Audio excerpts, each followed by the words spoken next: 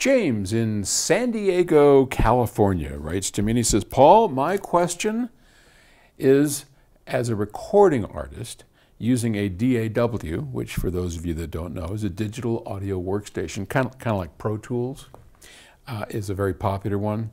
I have the option to record at, say, for instance, 24-bit 44.1 or maybe 32-bit 44.1 and also 16-bit 96 kilohertz, 192 kilohertz, etc. Can you give us a breakdown of the bits versus sample rates um, uh, and what the advantages are? Well, first off, let's talk about 32-bit versus 24-bit. There is no reason whatsoever to go to 32-bit. I mean, in a way, if it makes you feel better, go for it. it's, it's just a frame length.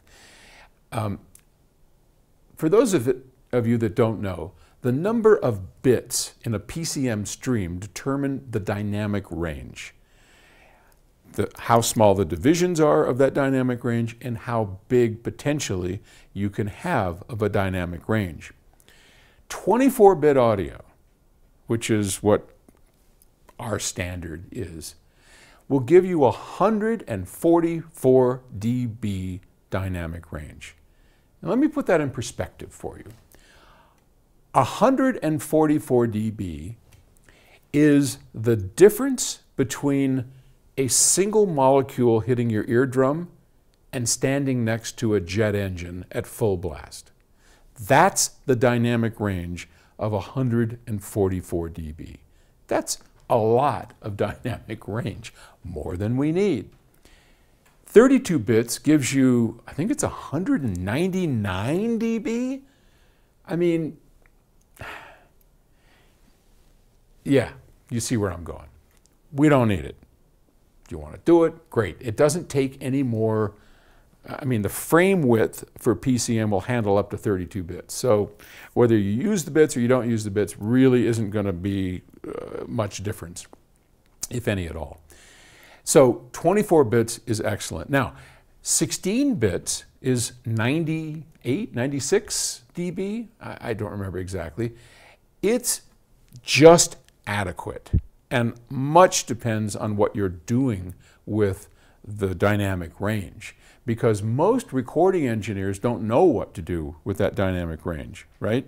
Most recording engineers take everything up into the top half and keep it kind of loud.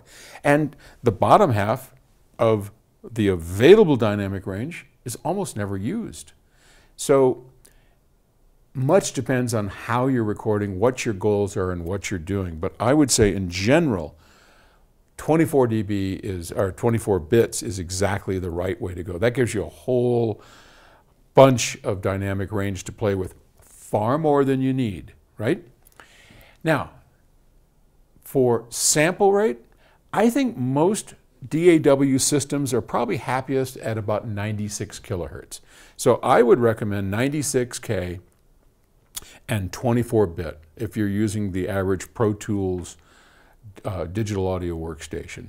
You could go lower, but or like, you know, now I actually prefer 88 uh, only because if you're eventually going to go to a CD, which is 44, you want a multiple that is easily divisible into 44.1, and that happens to be 88.2, not 96. So 96 is a multiple of the original standard for digital audio recording, which was 48 kilohertz. Why, why they chose 48 and consumer chose 44.1 is some distant story remembered by somebody but not me. I don't know.